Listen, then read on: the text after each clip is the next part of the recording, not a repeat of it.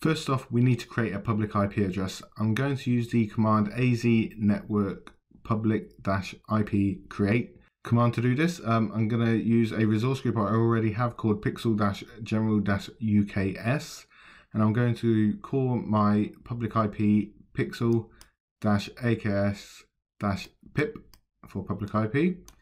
Um, and I'm going to use the allocation method static. So I'm just going to copy this command first into my bash window, which I have already logged into my Azure subscription. This will go off and create me my public IP address and give me a nice JSON output. Good news, that created correctly. As you can see here, I've got the IP address 51.140.94.22. I'm just going to copy this because I need it for later.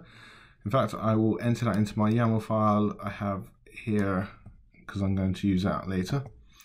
Um, if for some reason you missed this bit and you need to get back the IP address, you can use the portal or you can use my next command, which um, basically just does a show um, for the IP address in that resource group and outputs it into a nice little easy to see um, message just there.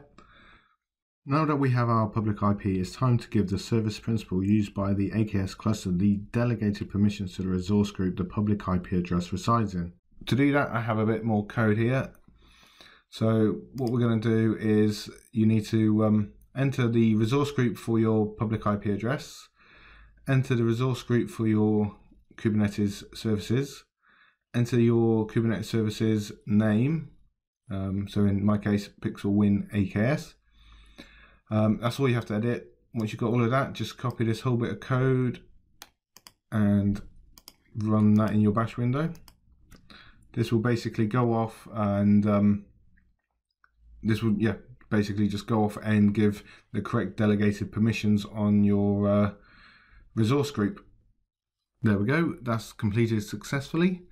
Next, we need to actually create our uh, YAML file to create the service which will associate a load balancer with this new public IP address. So if we just open up Nano, And then I have the information here, which is also in the accompanying blog post. So I'm just going to uh, copy the YAML file and paste it into there. All you need to do really is change your load balancer IP to the one from before. And if you want to, you can change the name or leave it as it is. Just going to uh, save that.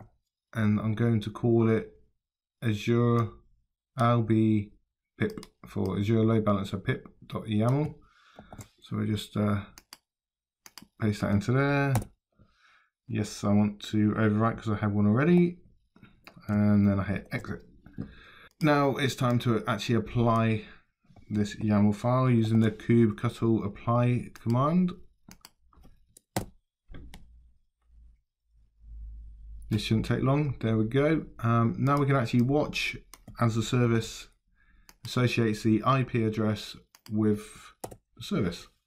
We use the kubectl get service, the name of the service, which was on the YAML file with the dash dash watch. As you can see, the external IP is currently pending. This um, can take a little while, um, all depends how busy Azure is.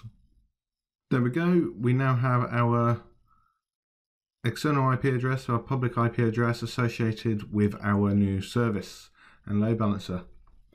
Nice and easy to use an already created or newly created public IP address with your Kubernetes services from Azure.